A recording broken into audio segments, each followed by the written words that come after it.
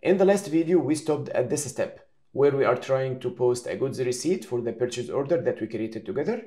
And then first we got an error related to material ledger that we solved in the last video. And now we have this other error, check table 169p. Welcome to another video in the SAP configuration from zero playlist, where we start our configuration from zero on SAP S4HANA. And our objective is to run a complete procure to pay process, including purchase orders, goods receipt, and invoice receipt. Before we continue with this error, let's first review where we are in the playlist. So I will go to my website, www.galalconsulting.com slash courses. Then here from the menu, if you go here to the courses menu, you can find the SAP configuration course.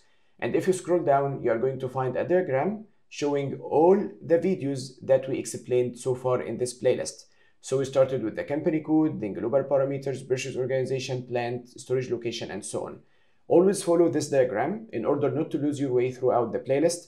Any video that is in yellow means that it is a mandatory video and things that are in blue are deep dive videos that I connected from the other videos I created on the channel because this playlist is going to combine everything together. So always follow this diagram. Now let's go back to our SAP system and continue with this error. So first I will display the long text for the error and see if it says anything or if there is any configuration connected. So we don't have any customizing activity connected to this error message and it doesn't really explain a lot of things. Only in table 169p the entry AG60 is missing. My first move when I get an error like this is to go to Google and look for it.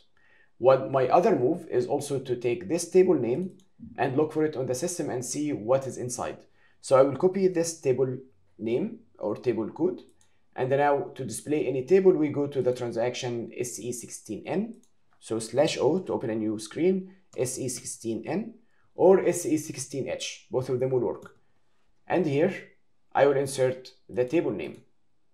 So 169p, if you insert 169p, you'll get a message that you don't, there is no table with this name. So you just add a T before.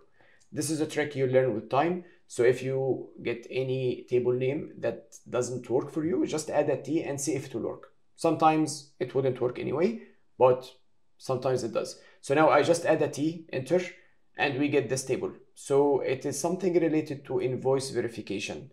This is a configuration table. It has parameters. So if we would like to see what's inside, we can just execute. And you see it has a lot of fields related to many things. We can double click on any line to see. So we have notification of PO text, automatic email, stochastic block. This is something related to invoice verification and so on. So a lot of details inside. And if I look for my company code, AG60, it does not exist here. So we have not added our company code to this table. This is why we are getting this error. Now I would like to modify this table. I do not know where the configuration activity is. So again, we can just go and look on Google and see if anyone has talked about this table in any of the threads, questions, blogs, or so on. And you are going to find a lot of people have discussed this table already. Or the other move that is something that we can do on our own is go to transaction SM30. So this is the transaction we use to maintain tables. Now, since this table has a maintenance view, remember the message that we got when we started the transaction, this table has a maintenance view, meaning that we can maintain it. So we can go to slash O SM30 if the maintenance view is activated and is working fine, you will be able to edit the table directly from here. So T169P, and then you just click on edit. And you see, you can just add a line for the company code here, but we don't really understand what's inside. So you can just right click on the fields and read the help documentation to understand what these fields mean. Maybe you can, if you are in a rush and you just want to test your process, then you copy the standard uh, 0001 company code. So this is a standard company code. You just copy the entry and you put your own company code, but then you don't really understand what this configuration does. If you'd like to analyze more, then go to each field and use F1. Or there is one more move I'm going to teach you that you now that I have not shown you before. And this move is to click on customizing here. And this will show you every submenu in the configuration where this table is mentioned. So here, this table is used in a lot of configuration activities. Most of them related to logistics invoice verification. You see this? We have something related to valuation and account assignment, and our company code does not exist in any of them. So now I'll just check these and see if any of them looks interesting to me. So configure price change in previous period, not something that I would like to do now. Set check for duplicate invoices, maybe. Define configure how delivery costs are posted. Activate item amount check. So I'll just pick any of them and add my company code there and see if this will allow me to proceed.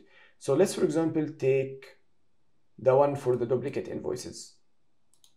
So I'll just double click on the line. It will open the configuration menu. And this will allow us to see where the, the configuration is maintained, right? So we are inside material management, logistics invoice verification, incoming invoice. And here we have activate scenarios for invoice verification, set check for duplicate invoices. So I'm just going to maintain a line here. So would you like to do a duplicate invoice check? If you don't know what this is and you would like to understand, so dive deeper into the details. So you should read the documentation first and then proceed with the configuration activity. What I will do now is I'm going to copy this line. Okay, and our company code AG60. And I'll just proceed. I will leave it to you if you would like to learn more about this to come to the screen and read about the different fields from the help. Okay, now save, load it to a transport request. Okay, and let's go back. So now we have maintained our company code in the table for one of the configuration activities. Let's go to our goods receipt. And from here, let's try to post it again. So check. We don't have any errors if we check and then click on post. And the error is gone. So now we have added our company code to table T169P. I believe this was the name. And we don't have the error. As usual, always document all the configuration activities you do. If I look into my configuration document, I already have steps for table T169P. The reason I have them is because I faced this error before, I documented it, I documented the solution with additional details explaining why we do this.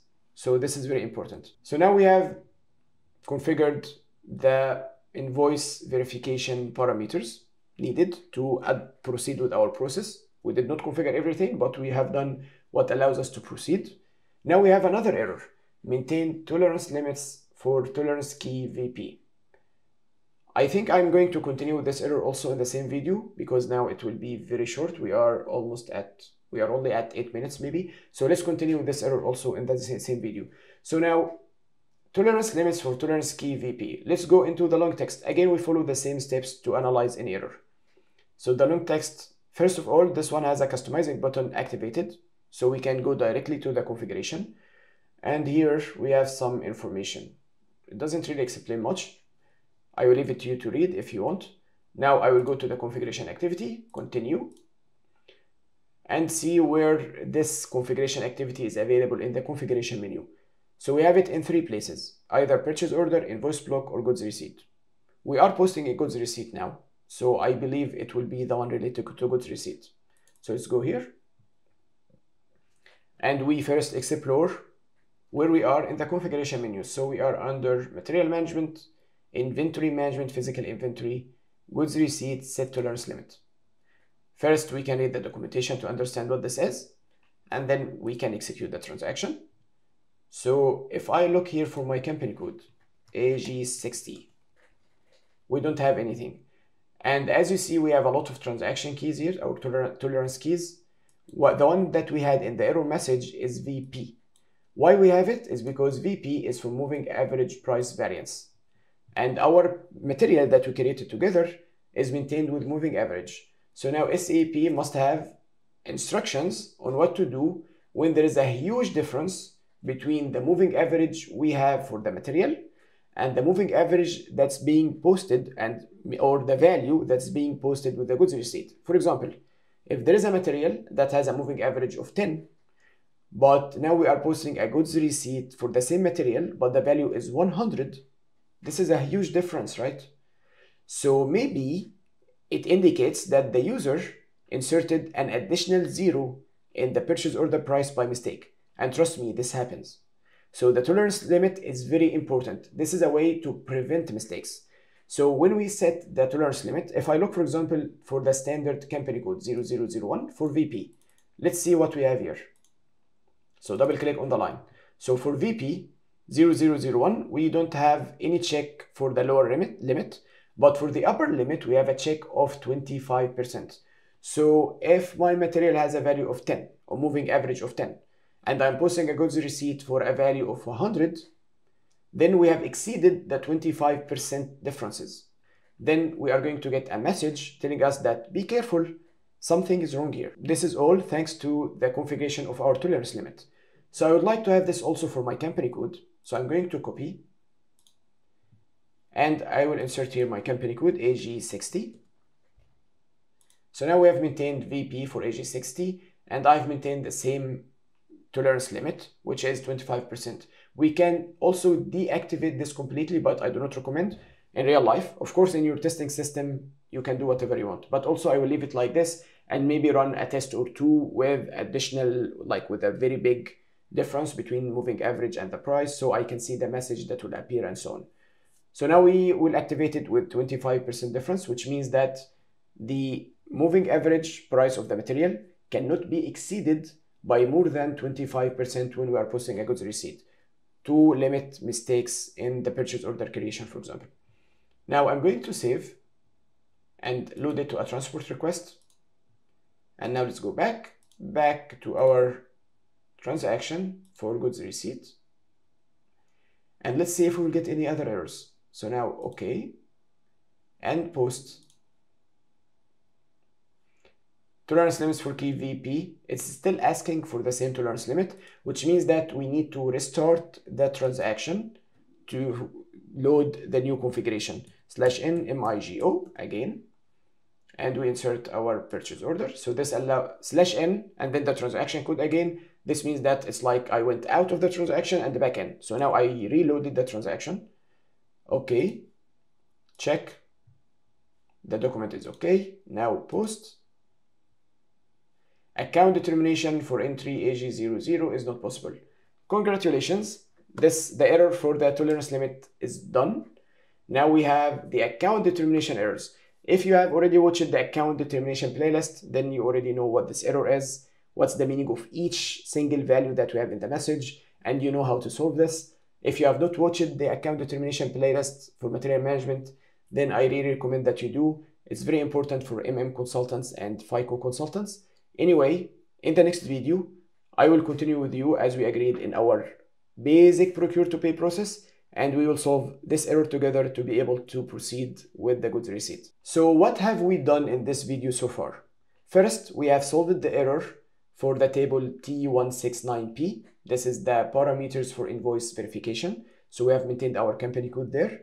And then we have solved another error for the tolerance limit VP for goods receipt of moving average materials. Now your homework for today is to read about tolerance limits in SAP. It is a concept that's used in many places in the system. So we have tolerance limits in goods receipt, tolerance limit in invoice receipt, and so on. So just go and look for tolerance limit in SAP S4HANA. You will get the SAP help website. And also there are many blogs created by different contributors to the community. So go and read about the tolerance limit. The second thing you need to do is to follow the steps that we did in order to maintain the invoice verification parameters and also maintain the tolerance limits for the tolerance key VP for goods receipt. If you do not have access to an SAP S4HANA system to test this on your own, then you can subscribe to the same system I am using by going to my website, galalconsulting.com slash SAP Access, or from the menu here, you can go to SAP Access you will be able to subscribe online to the SAP server and you will get a user ID within one day that will allow you to configure anything you want. Also, do not forget to check the diagram on the website for the SAP configuration from zero course to see what are the steps that we already explained and what are the steps that are coming after this one. I have a very good plan for this playlist and God's willing, I will be able to see it through. I hope you found the video useful and easy to understand. Do not forget to subscribe to the YouTube channel, share the video with your connections, check the channel membership program to get access to the member exclusive videos, documents like the configuration document that I share here, and also our Slack community where you can chat with me and the other members of the channel. Thank you for watching and I'll see you again soon.